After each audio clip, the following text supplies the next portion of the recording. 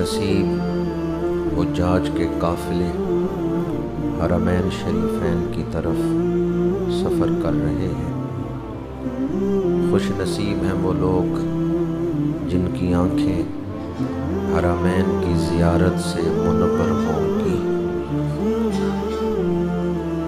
ہم ان خوش نصیبوں میں تو شامل نہیں ہیں، لیکن چلیں کچھ دیر یہاں بیٹھ کے اس سفر مبارک کا ذکر کر کے اپنے دلوں کو جلا بخشتے ہیں۔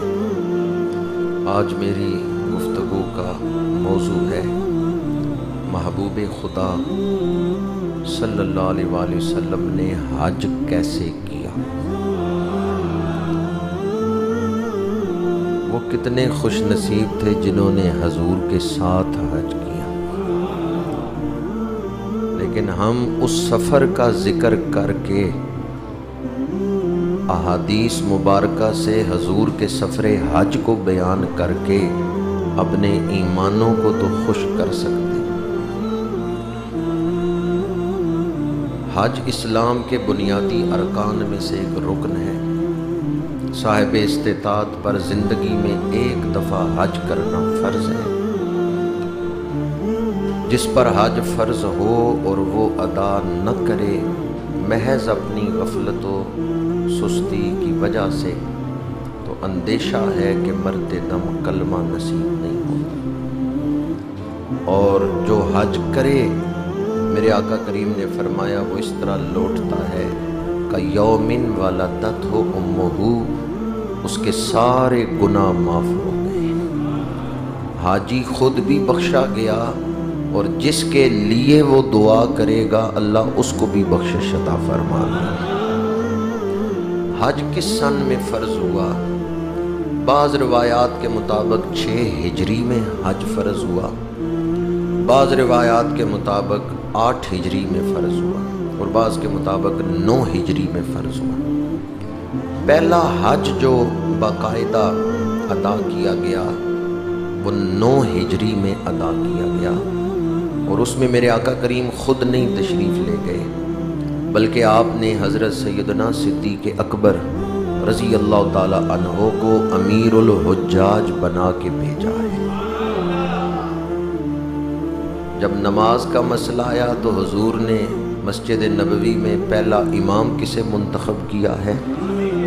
سیدنا صدیق اکبر رضی اللہ تعالی۔ اور جب پہلے حج کا موقع تھا، حضور خود نہیں تشریف لے گئے بلکہ سیدنا صدیق اکبر کو بھیجا ہے۔ نو ہجری میں پہلا حج۔ سیدنا صدیق اکبر امیر الحجاج تھے۔ آپ کی سرپرستی میں ادا کیا گیا۔ نو ہجری سے لے کے آج تک، آج کون سا سن ہے؟ چودہ سو چالیس۔ کوئی ایک سال بھی حج کا ناغا نہیں ہوا جنگیں بھی ہوتی رہی ہیں، قحط بھی پڑتے رہے ہیں، حالات بھی مختلف ہوتے رہے ہیں۔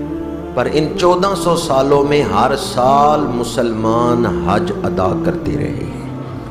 آج تک کتنے حج ادا ہو چکے ہیں؟ جی؟ جی؟ بڑی جلدی حساب آپ نے کر لیا ہے۔ چودہ سو چالیس ہے اور پہلا حج نو ہجری میں ادا ہوا۔ چودہ سو اکتیس ہو گئے ہیں، بتیسواں اس سال ہوگا۔ بتیسواں اس سال ہوگا۔ اکتیس ہو چکے ہیں، چودہ سو اکتیس حج ادا ہو چکے ہیں۔ بتا سکتے ہیں چودہ سو اکتیس میں سب سے شاندار حج کون سا ادا ہوا ہے؟ سب سے بڑا حج کون سا ادا ہوا ہے؟ جس جیسا حج نہ پہلے ہوا ہے، نہ آئندہ ہوگا۔ وہ حج جو دس ہجری میں ہوا ہے۔ جس میں خود میرے آقا تشریف لے گئے۔